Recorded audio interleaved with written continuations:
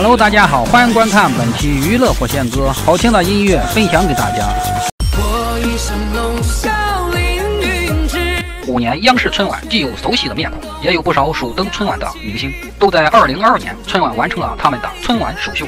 其中，赵丽颖首登春晚，与朱一龙、王俊凯、郁可唯合唱《欢乐时光》。赵丽颖一袭红裙，让人眼前一亮，还有过年的气氛。肩膀一条大大的蝴蝶结，宛如绽放的牡丹，衬得她格外笑容甜美、吊俏可人。赵丽颖与职业歌手同台算是合格，声音很有辨识度。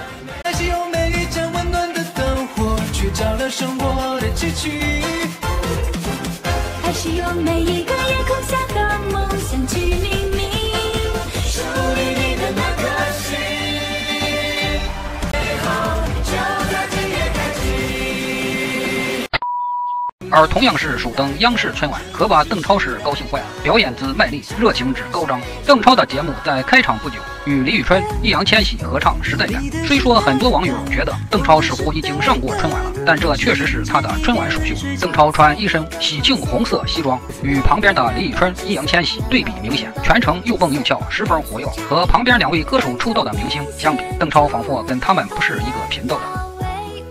太开心了。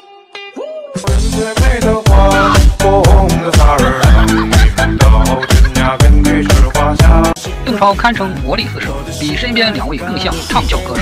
他动感十足，随着音乐起舞，甚至唱到兴奋处还原地跳了起来。也难怪超哥如此兴奋。他之前在接受采访时直言十分开心，上台对他来说有些激动，也很高兴，一直在等这一天。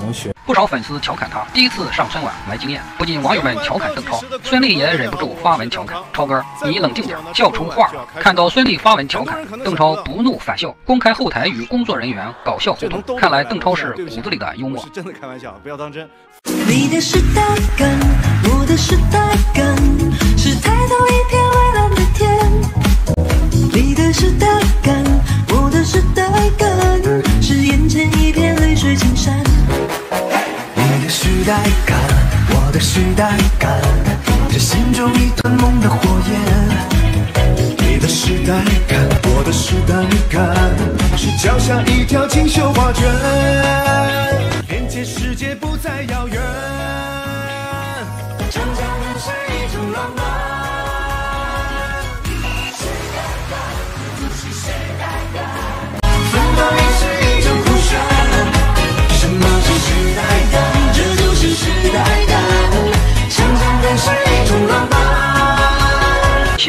邓超的兴奋表现放到春晚的氛围是十分合适的。过年不就是图个热闹吗？小伙伴们觉得邓超表现如何？欢迎到评论区留言交流。喜欢的小伙伴点个赞、转发、加关注。好了，本期节目就到这里，我们下期再见。新的风范。